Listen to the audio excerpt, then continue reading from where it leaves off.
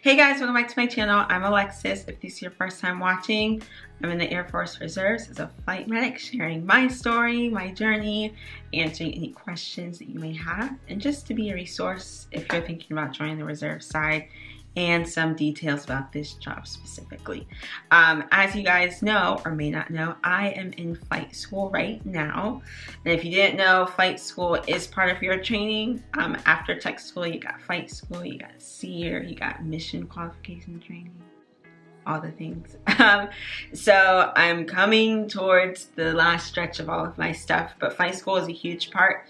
Um, and so I just wanted to, in this video, share what my first seven days of flight school looks like or what I experienced. If you guys are interested in me doing like a week by week kind of diary synopsis, please let me know in the comments because I'm really not sure if it'll be valuable to you.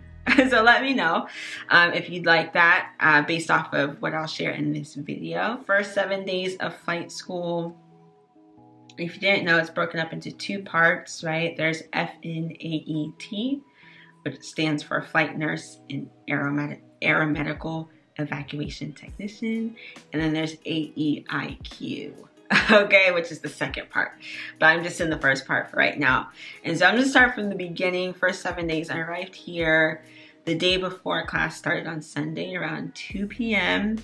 And you know, when you first get to base, this base is massive. If you did not know, flight school um, takes place at Wright-Patterson Air Force Base, and it's a massive base. It's split into two areas, Area A and Area B. If you came to Wright-Patterson for your phase two, you're coming back. okay, so um, it's a massive base, right? So when I first got here, I was like, how am I gonna get around um, all these new people? I didn't come to flight school in my class with anyone from my unit, specifically in my class. Um, some people from my unit uh, came to a class before me and some are coming after, but it's just me for, for for this class. so I was like, I don't know who I'm gonna meet. Are these people gonna be weird? All right, am I gonna be able to find someone that I vibe with really well? And so, you know, all of the questions, right? And so I'm happy to report, first day of class, immediately found someone that I gelled with, and we're like the same person. It's kind of strange. but I'm, I am grateful for that. So in a class, I think there's like, mm, more than 40 of us, I think, in our class, you will find somebody that you're like cool with. Hopefully it's someone that has a car because if you didn't come with a car, um, you know, getting around will just be a little bit more interesting. I did not come with a car, but my my girl has a car. okay, my friend has a car, so um, that is helpful. So just understand that if there's any fear about meeting people, typically when I come to any training that I have to do, I meet really nice people. Um, the AE community, as, as far as it seems so far, everyone is very willing to help, um, to give you a ride, to answer any questions that you may have when it comes to academics, um, or patient care or equipment or anything like that. So asking for help is something that you may have to get used to, something that I have to get used to because I'm a very like independent person. I like to be able to do everything by myself. um, but as you know, or you may not know, this job is very team dependent. It's not like you can do everything by yourself or you can even attempt to because it's not gonna work, right? So just get in the habit of asking for help if you need it. Um, and people are more than willing. The people at the front desk are super nice, super sweet. So within the first seven days of training, my training includes all of the holidays, right? So I'm not gonna be home for any of the holidays. Thanksgiving, Christmas, New Year's, I'm in training all of them, during all of them, right? So Thanksgiving for me was actually not too bad. My friend, um, her family, she has family here, and so I spent Thanksgiving with them, which was really cool. Um, really great food, really nice people. The day after though, I was a little emotional. I was a little bit in my feelings. I was. Missed my person, Augustus. He's at home. Um, but he is coming during Christmas. So I'm looking forward to that. We're going to plan the whole thing. Um, so if you ever have training through the holidays, I mean, I feel you. The good thing is, though, there's no travel restriction. You just have to let the cadre know that you're leaving. You have to fill like a travel form.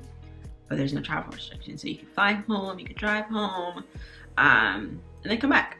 So yeah, that was my Thanksgiving. My Thanksgiving, I might I might insert like some pictures, a video of me and my girl dancing. Um, but super cool. Uh, overall, I'm grateful that I at least have someone I can feel um, home and warm around, um, even though I'm not around my person, which you know is definitely okay. Um, also, academically, the first seven days, I've taken an exam. I've done a skills verification, guys. Let me tell you something. If you don't know, if it's your first time watching me, if you haven't been here from the beginning, and you may not know, I don't do medical stuff on the outside, right? My only medical affiliation is this job in the Air Force, okay? So when they said we had skills verification, this is like on day two, right? Like you have to do Foley insertion, IV, BVM, CPR, like these skills, right? I was like getting nervous because I haven't seen a patient since my phase two and I don't do medical on the outside. So that was interesting. It went very, very well. Right, no issues. It's not like EMT skills, right, where you have to do everything in like 30 seconds you can talk yourself through. The cadre are really nice. Um, I did very, very well. I was like, Lord, thank you for that because I was a little bit stressed. Also, though, um, another kind of another way to kind of reiterate that asking for help is not a problem. The nurses here, like one of the nurses on my crew, you'll be separated into crews when you sit down in class. She helped me study like the night before, super sweet. And I was like, you know what? Asking for help is not so bad. you know, to hear other people's perspectives and to hear people who are actually, you know, working with patients every day, it is helpful. So don't be afraid that you might be the only person that doesn't have any medical experience. If you don't, it's totally fine. Within my class, there's like eight or nine of us who don't do medical on the outside. It's just specifically for the Air Force. And so that is okay. Um, if it wasn't okay, the reserve side would not have given us the opportunity to have this job, um, knowing that not all reservists are medical people on the outside too, you know? So be at peace with that. Um, but academically, again, so I had the skills verification, I had an exam, and that exam was like one day of, one very long day of lecture, and the next day was the exam. Again, God is real because I passed, okay? Um, but in that same day as well, I had the altitude chamber, right? And this experience was so cool. I'll post a picture, insert a picture of me with all the gear on, right? Um, but it was so cool because with my basic um, experience, with my BMT experience, I didn't do the gas chamber. I didn't do Beast Week. It was just like COVID just took away all the fun. right? So I didn't get to do any sort of chamber experience. I did go to SERE though. That was an experience. Very cool, very strange. Don't want to do it again. But it was awesome. Um, so this one I was like, yes, let's do it. And so the point of the altitude chamber is to experience hypoxia, right? When your body isn't getting sufficient oxygen. And so very cool experience. Um, and actually, there's, they're doing a study right now. They're conducting a study um, to kind of get results on the body and to see if there's any changes when the body experiences hypoxia in altitude versus on the ground. Um, so I'm gonna do it two times. Gonna do it two times. Um, but the hypoxia experience was very, very cool. My body did some weird things, but you know, I'm fine. Um, so academically, a lot has gone on uh, in seven days. You get a ton of information within the seven days. Oh, this is like my you guys know like I'm a flashcard person. I think I showed you guys my deck of flashcards at, at, in one of my videos, but this is my stack so far from the, can you guys see? Okay, yeah. So this is my um, deck of flashcards so far. You know, not too thick, but it's my study, it's my study tactic or technique that helps me, right? Um, if you come during the time where it's cold, bro, bring a jacket. It's cold as shit out here, okay? Um, it's freezing. so if you come during the winter time, bring winter clothes, okay? Bring winter clothes. Um, I look at my closet, I'm like, dang, I should have brought more sweaters, more sweatpants, um, because it's freaking cold. Um, but that's academically first seven days. Within the first seven days too, I think it's very important to me if I'm separated from my person, if I'm separated from home, to establish a routine that grounds me or to find a happy place, right? And I would encourage you to do so as well. Um, there's like a gym walking distance between um, like Wright Patterson Inns, the Dodge gym, and they have this beautiful like aerobic studio. And right now I'm in the process of becoming a skate master, like usher, like roller skates, the quads. Um, and so I found my happy place to be there, to be skating. I skated there um, last week. And I'll insert a little clip because I'm getting better, okay?